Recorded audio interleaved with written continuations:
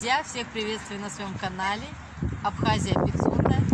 Сегодня я хочу вас познакомить с человеком. Это девушка Юлия ее зовут. Мы встретились с ней в Абхазии. Она приехала из России.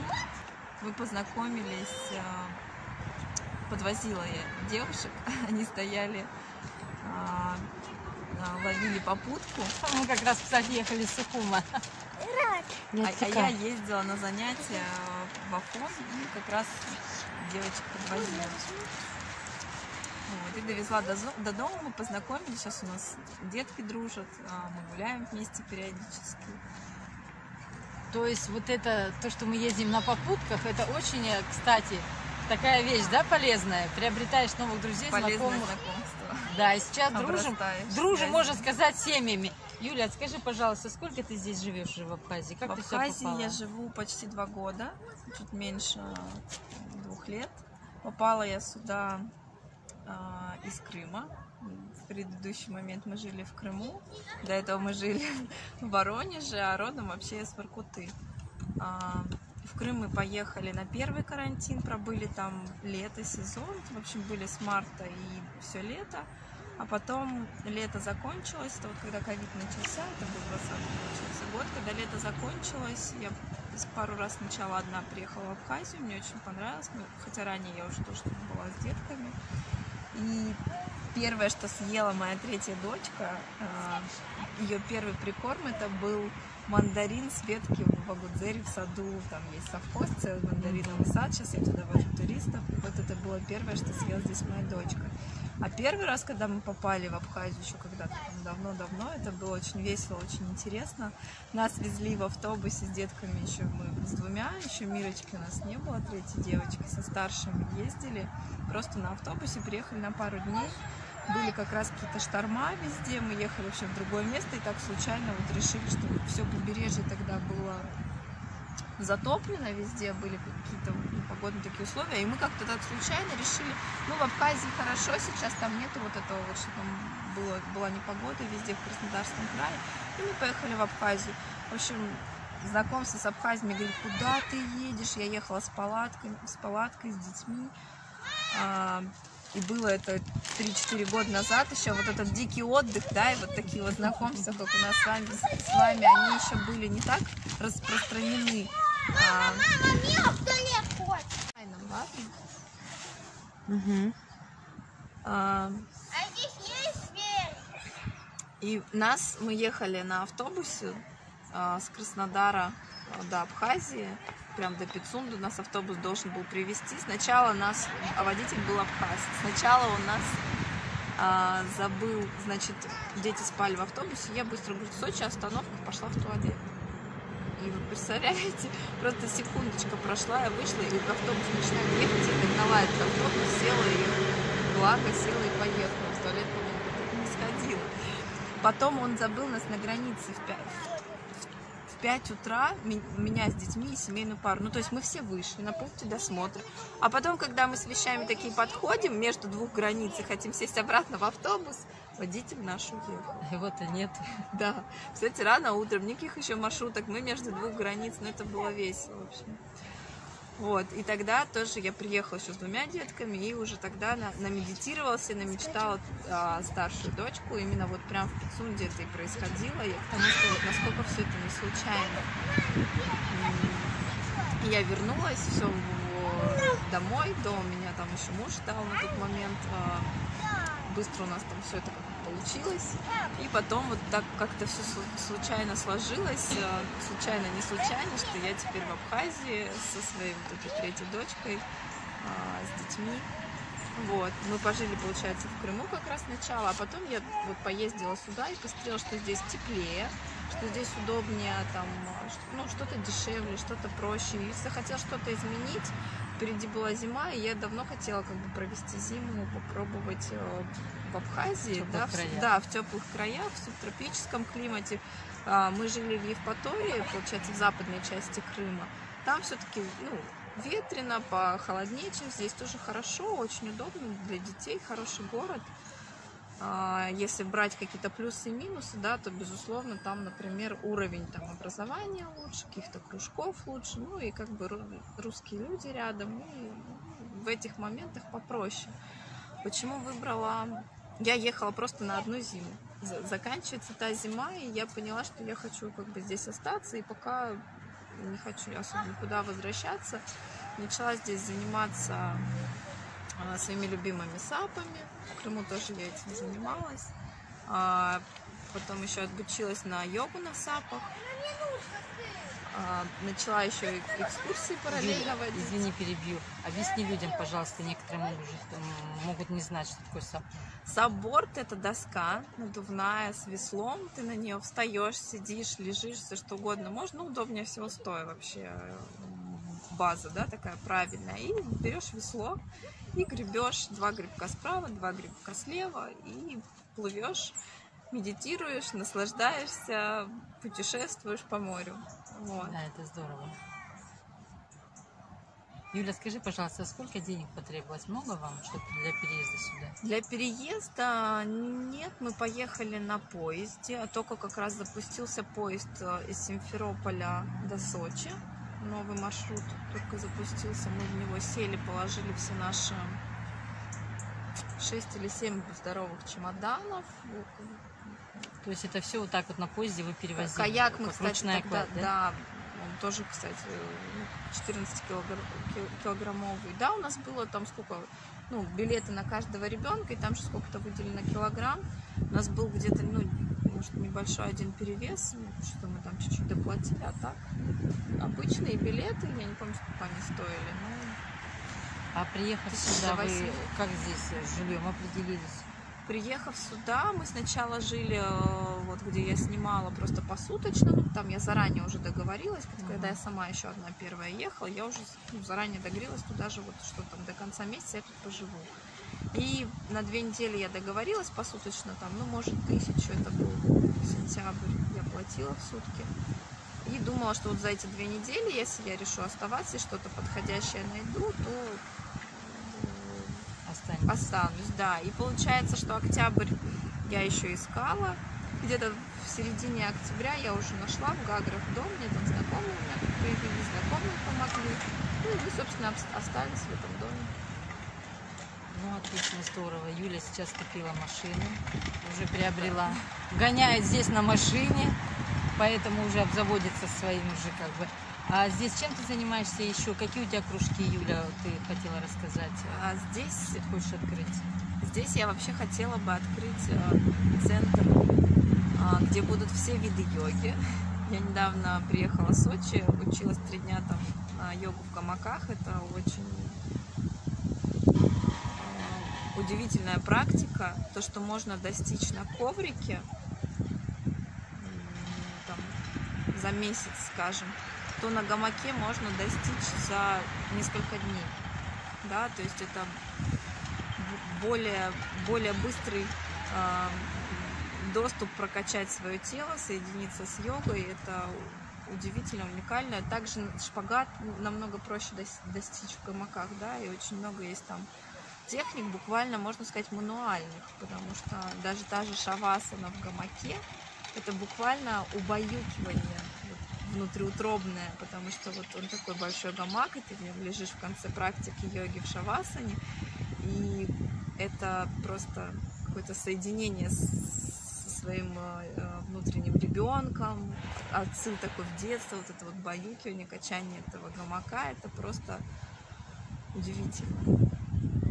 Я хотела бы открыть центр, в котором были э, бы и детки заняты, и мамы заняты, да, чтобы мамам не пришлось, чтобы в одну комнату мама привела ребенка, а, оставила его и зашла в соседнюю комнату и сама позанималась йогой, позанималась каким-то развитием, да, чтобы а, не хочется привязываться к чему-то одному. Я сама очень такой многогранный, разносторонний человек. Также у нас тут в сентябре получился еще фестиваль. Был удивительный фестиваль. Получилось его провести, несмотря на ковидную ситуацию. Ну, так мы его в ограниченных, конечно, такая арт-ярмарка больше, наверное, получилась у нас, нежели чем там масштабный фестиваль, который мы планировали. Но все равно очень благодарны за помощь там курорту, администрация курорта нас поддерживала, да, и возле Курзала в Пицунде мы проводили этот фестиваль. Приезжали мастера Садлера разнообразные, там был гончарный круг, там были арома масла дотеровские, а, разные местные мастера у нас стояли со своими товарами, да, приглашали мы э, Грачика Ванесян, виртуозный скрипач современного поколения, а, ну, в общем, было интересно, в конце у нас фаер-шоу было, то есть был такой микс и местных мастеров, и каких-то друзей своих а, Садлера я звала, потому что опыт проведения таких мероприятий тоже уже есть. А в Воронеже, в Крыму тоже я была с организатором разных фестивалей. Вот. И хотелось бы, чтобы просто в Абхазии, почему я э, завела речь о детках, о мамах, потому что видно, что когда какая-то непогода, например, да, а, дождь идет или еще что-то, ни деткам, ни мамам, правило, ну, все кружки пойти, останавливаются. Да. вот у меня сын футболом, например, занимается футболом, естественно, нет. А вот сами видели, январь-февраль был такой, что ну вот у нас ничего нет, да, там а, ковид, не ковид, вот эти все моменты. Хочется, чтобы это было какое-то все-таки более свободное пространство от этих вещей, да. Все равно мы сейчас все свободные люди, вот такие вот, которые вот так вот знакомятся, перемещаются. Нас сейчас таких очень много, которые любят йогу, любят здоровый образ жизни, а им чего-то не хватает, они вот хотят э, как-то развиваться. И мне тоже хотелось не привязываться, а, хотя йога-центр в Абхазии, это было бы очень круто, но не хочется привязываться к чему-то одному, да, и может это какое-то коворкинг пространство, чтобы туда приезжали, опять же, например, Сегодня приехал какой-то мастер, и он там русское географическое общество, например, показал какой-то фильм. Мы все перезнакомились, познакомились, то есть какие-то полезные знакомства. Такое вот расширяющее пространство, которое бы каждого друг друга бы наполняло бы чем-то. Все бы там обменивались бы опытом, а, люди бы развивались, дети, люди рядом, мамы бы счастливы были, потому что движение это жизнь, а если энергия не двигается, да, как вот зачастую я вижу здесь, с чем я столкнулась, например, когда фестиваль проводила, видно, что очень сложно людей, у нас много было помощников местных, да, из местного, там, элементарные вещи, там, принести стул, там, одолжить колонку, там, подвести провода, еще что-то. Настолько э, сложно с местным менталитетом, потому что ты просто отворачиваешься, а человек исчезает. И, ничего дальше не происходит, да, и то есть видно, что, ну, не хочется говорить, но на, на энергетическом каком-то уровне, я не знаю, как это объяснить, да, но люди немножко вот там после войны, понятно, что да, была война, всем тяжело, еще что-то осталось у людей, но уже прошло столько лет, мне кажется, давно пора жить дальше, да, и если мы тут э, русские, не русские, абхазы, армяне, кто бы тут ни был, э, есть, наверное, что-то высшее, чем на- нация, да, это человечность, а, и в каждой нации самое важное это вот это и есть, да, человечность. И не надо уже там, наверное, на все эти вещи обращать внимание, а просто нужно двигаться, чтобы энергия в теле двигалась, чтобы ты двигался, как-то развивался, твои дети развивались, и быть свободным, наверное, от этих всяких ментального мусора, это. Вот хочется чего-то такого. Юля, легко ли договариваться здесь, Сложно. чтобы Нет, открыть дается сложно, потому что, ну, скажем так, фестиваль у нас образовался, хотя сначала нас вроде поддерживало Министерство культуры, потом оно как из-за мы очень долго разбирали там законодательно, да, что вроде как бы в тот момент это был сентябрь, конец сентября, да, вот 21 года. А фестиваль назывался Амшин, море, на Абхазском. А, по законодательной какой-то области, вроде как на открытом пространстве мы проводили фестиваль, все можно, все допустимо, по всем нормам. Но потом мы смотрели указы президента разные, ну, как бы министерство сказало, что вроде как и на открытом пространстве, ну, тоже есть какие-то ограничения, поэтому, ну, и не стали э, в какой-то последний момент, они нас оставили, да, и мы остались, по сути, ни с чем, и до фестиваля оставалось уже мало времени, и скажем так, что в итоге нам помогли наши спонсоры. А, Это My Green Energy компания, солнечные панели. В Абхазии они занимаются солнечными панелями, пе- перебойниками, еще там какими-то такими моментами. А, и вот пока рядом, скажем так, не встали, ну вот администрация курорта, да, тоже нам помогла. А, но пока рядом вот не оказались местные люди, по сути, ну, наверное, здесь невозможно ничего сделать. Ну, это вот мое такое ощущение, я не знаю, насколько это так, да, это вот, вот чисто Ну, ты на своем опыт. опыте говоришь, да, да. я говорю именно вот, может быть, можно что-то по-другому. Я вообще считаю, что нет ничего невозможного, что человек это просто безграничное су- существо, которое может все что угодно, А, и мы хотим с, с одним моим знакомым, у которого субстанция своя, вот, которая я веду йогу, который тоже нам очень много помогал на фестивале. Мы хотим проплыть а, рекорд поставить. А, Там получается больше 200 э, метров. Мы хотим проплыть от границы на Сапе, а, от границы до границы, да, от Псова до Гали хотим проплыть на Сапе и поставить такой рекорд. Мы посмотрим, конечно, как у нас это все произойдет, потому что работа летом у него. Мы хотим это попробовать сделать э, в апреле-мае. Сейчас вот потихонечку скоро будем начинать готовиться. Это русский парень, да? Это э, русский парень, но он здесь живет уже со школьных до последних старших классов, да. да. Так он сам с Байкала. Поэтому, и вот, кстати, у меня на- машина тоже на него оформлена. Ну, потому что очень это- многие приезжают из Сибири, из Дальнего Востока, с Да, это- Байкала, это вот человек, мест, да, и здесь живут. которому я доверяю, да, потому что здесь, знаете, ну, если брать местный менталитет, я не хочу никого обижать, ну, ну, как бы ничего такого говорить, но, к сожалению, очень часто вот, ну, есть, как было с тем же министерством, тоже, когда люди говорят, да, да, да, там, ты о чем-то с ними договариваешься, да, вот у меня иногда возникает с Абхазии, говорят, что сказочная страна, у меня почему-то иногда идет такая мысль в голове, что сказка о потерянном времени. Мне знакомые говорят, ну почему ж ты тут еще сидишь и не на Бали? Да потому что ну, там на Бали, в Крыму, в Воронеже, ну как бы в Воронеж я приеду, там уже мне не надо будет ничего искать, мне будут сами звонить, у меня уже все есть.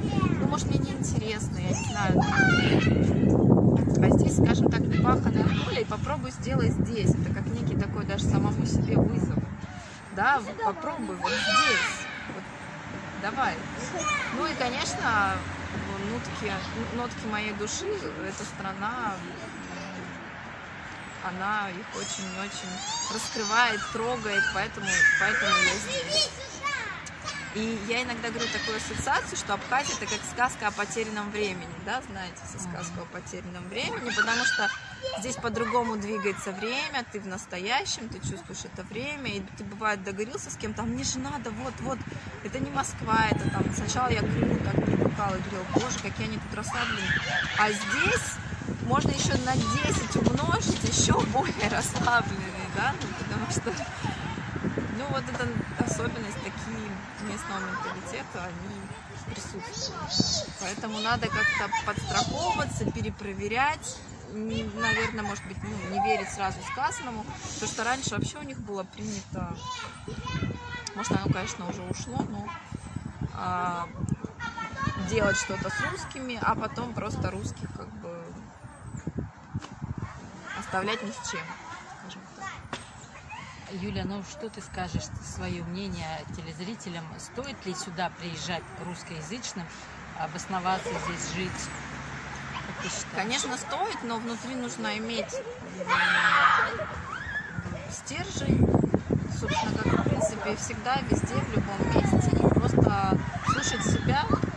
А, Я не говорю, что надо закрыться от всего мира и от- отгородиться там, да, от абхазов, но нужно быть на чеку, внимательными и какую-то связь с реальностью не, не терять, да, потому что зачастую здесь люди приезжают и какая природа, и буквально тает, и, и, э, немножко как будто бы теряется вот, да, связь с реальностью, и это же вот плывут, скажем так, да, немножко куда-то плывут так.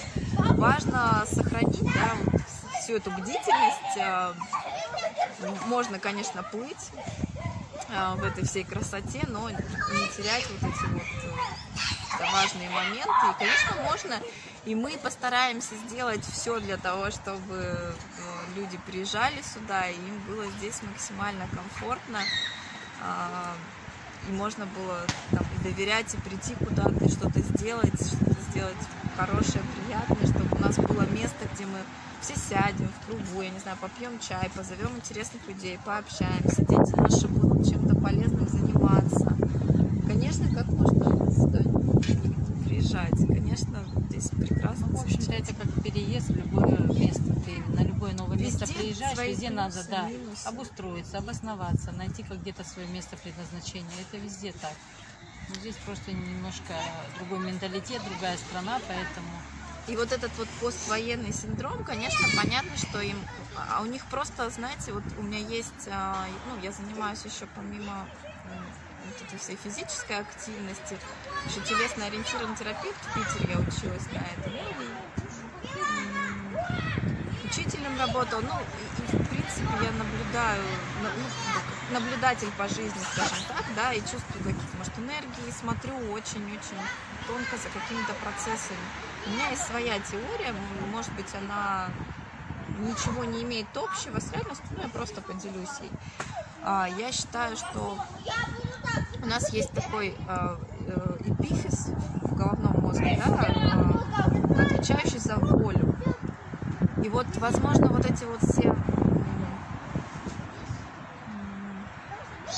моменты там поствоенные, да, они как дают же отражение на, и вот они, может быть, сломали волю. Вот этот момент плюс, ну, я не знаю, такое можно озвучивать или нет, но я думаю, что ни для кого не секрет, что в таких странах, как Абхазия, люди очень любят злоупотреблять разными а, средствами, скажем так, одурманивающего характера.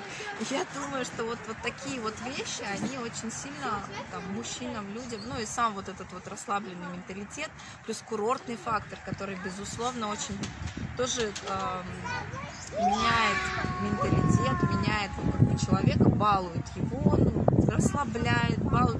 Вот все эти факторы, я считаю, что буквально сломали им и пифис, и волю. Поэтому, ну это вот мое личное наблюдение, мнение, оно может быть э, чисто моим. Я его никому не навязываю, но вот, вот это то, что я заметила. знаешь, что ты проводишь экскурсии. Да. Так ли это? Ну-ка расскажи. Да, нам. да, да. Я сначала очень долго ездила с подругой. А Она меня, собственно, и учила там, и вождению много. Мы с ней обкатали там дальние маршруты, там источники, Шакуранский водопад, мой любимый. Я вообще считаю, что это а, сердце Абхазии, ну, по моим ощущениям. Вот. И э, я объездила со знакомыми местными. Была сама на некоторых экскурсиях, объездила вот с подругой места. э, И сама, собственно, да, так вот предложили мне э, на одном месте работать в отеле, попробовать себя в этой роли, да, то есть у нас там сам маршруты были всегда, попросили еще вот, э, услышали там, что я иногда провожу, попросили тоже попроводить. Я начала так потихонечку проводить, всем очень понравилось, началось много спроса. Ну, я подумала, почему бы нет. Потому что, это знаете, как возродилось, тоже приезжают в наш отель там, а, люди э, русские. И получилось так, что им комфортнее а, с русским с русским. Ну, как-то вот так сложилось, получилось, я как-то всегда была в приоритете, когда вот они выбирали экскурсии, и как-то предпочтение отдавали мне, собственно, вот так вот по нарастающей все это и пошло. да? А сколько стоит твоя экскурсия? Там экскурсии все разные, да, когда у нас САП, это одна цена, без САП это другая цена, но в целом цены демократические. Чем мои экскурсии отличаются, опять же, от местных, да, чем вот ну, люди обратную связь давали, и, и что им очень комфортно, что им не навязывают никакие, да, там, заезды а, за сыром, не сыром, медом, не медом, вином. да, дегустационные да. залы. То есть я не беру никакие проценты нигде, ни, ни с- как бы, как сказать, наверное, Да. ни с кем не сотрудничаю. Хочу добавить, что да, экскурсоводы. экскурсоводы, которые возят экскурсии, а, у них а, с дегустационными залами идет договоренность, проценты. Поэтому вот я не получаю эти проценты, я просто от души а, показываю Абхазию своими глазами, делюсь тем, что я люблю и получаю положительную обратную связь. Очень приятно, Юленька, спасибо большое, что познакомились мы с тобой. Ты рассказала о своей жизни, познакомила вот с этой вот Абхазией изнутри именно, как ты ее прожила, как ты прочувствовала, как ты сюда попала, э, твоими глазами мы сейчас увидели, да, вот всю эту вот э, жизнь, которая происходит. Спасибо Я тебе думаю, что мы огромное. можем как-нибудь попробовать еще, если мы поедем куда-то собираться, там, в Афон, да, мы можем попробовать сделать мини-экскурсию в Афоне или что-нибудь такое подобное для канала. Я думаю, что будет очень-очень интересно. Поэтому, может, у нас не последняя Все встреча. это все еще впереди. Конечно, это не последняя, не первая, не последняя, поэтому будем дружить, будем поддерживать и отношения. Все, друзья, спасибо вам большое за просмотр. Благодарю за внимание. Подписывайтесь на канал, ставьте лайки, пишите комментарии. Всем пока-пока.